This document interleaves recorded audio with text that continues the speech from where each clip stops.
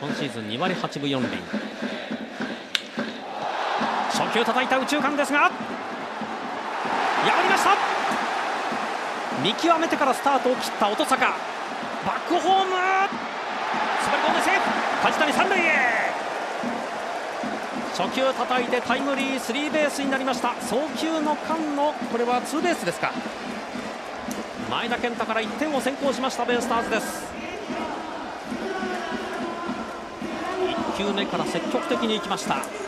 この時の音坂のハーフウェイの位置が悪いんです。だからここでね、はい、ホームギリギリになっちゃうんですそうですね、えー、こういうところがねやっぱり少しずつねちょっと雑なんですねベイスターズがね、えー、あれあの、まあ、打球の行方を見なければならないんですがその見る場所、もっと三塁に近いところで見ていいっていうことなんですか、はい、これはワンアウトとノーアウトの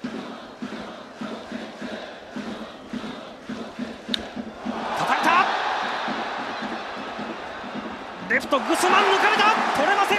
三塁ランナー梶谷が今ゆっくりとホームイン。2点目が入りました。筒香三塁へ。打ったロペスは二塁へ。この表情前田あこのグスマンの守備はどうだったんでしょうか。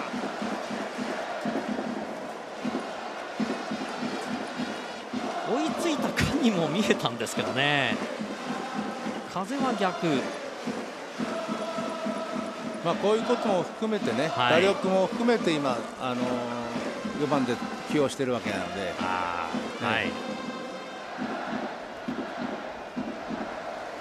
このリプレーを見る限り普通だったら取れる当たりのようには見えましたけどね。3点取りました。そして7番ショートで先発出場のルーキー倉本。これも狙う。タイムリーヒットになりますロペスホームイン。4点目。4対0鮮やかな先制攻撃を見せましたベイスターズ。カープエースの前田から1回に4点。ビッグイニングになりましたね。そうですね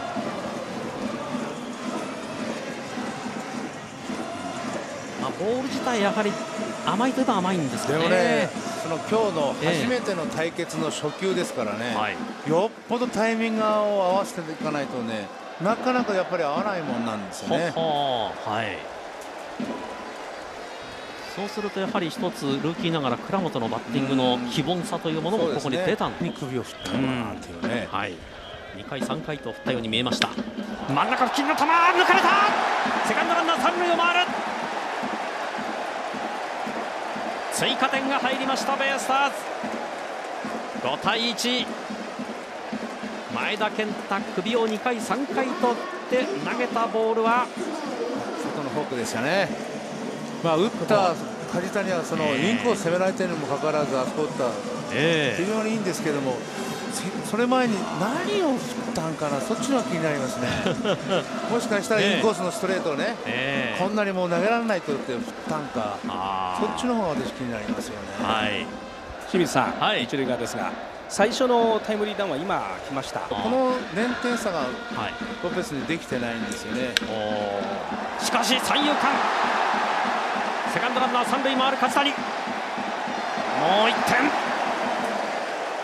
その本来の状態ではないロペスでもタイムリーヒット。今打てるのはあの高さとコースだけなんですけど、これはもう前前田の失投なんですけどね、はい、もっともっとベスターズが上に行くためには、えー、このロペスとバルディリスがですね、えー、もっと打たないとね、はい、外寄りの球。外目の高めね、これが打てるコースですね、今ね、彼もね。ただしインコースに速いボールはほとんど詰ま